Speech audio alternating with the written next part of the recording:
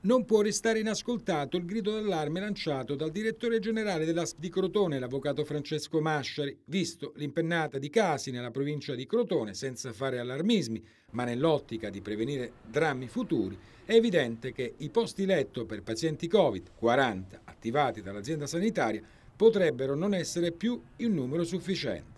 Così, in una nota stampa, Flora Sculco, consigliera regionale, che punta l'indice sulla scarsa dotazione di posti letto Covid presso l'ospedale Spock di Crotone, già saturo a causa di un picco di contagi dell'ultimo ora.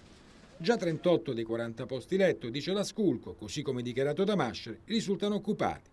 Il rischio emergenza è ancora più reale, in quanto il San Giovanni di Dio è l'unico ospedale presente nella provincia di Crotone, Dopo una prima interlocuzione con il direttore generale, sottolinea la consigliera regionale, mi sono recata immediatamente in cittadella per affrontare la problematica direttamente con il presidente facente funzioni Nino Spirlì.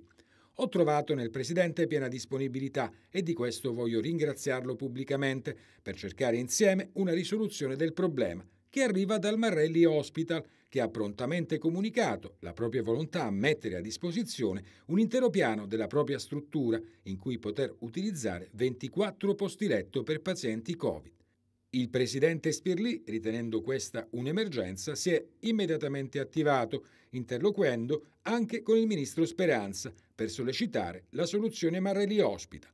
Ora dipenderà tutto dal nuovo commissario alla sanità calabrese, il professor Gaudio. Sarà premura della sottoscritta e del presidente facente funzioni della regione, conclude Flora Sculco, far sì che il primo impegno nell'agenda del nuovo commissario sia proprio l'attivazione dei 24 posti letto Covid presso il Marrelli Hospital di Crotone.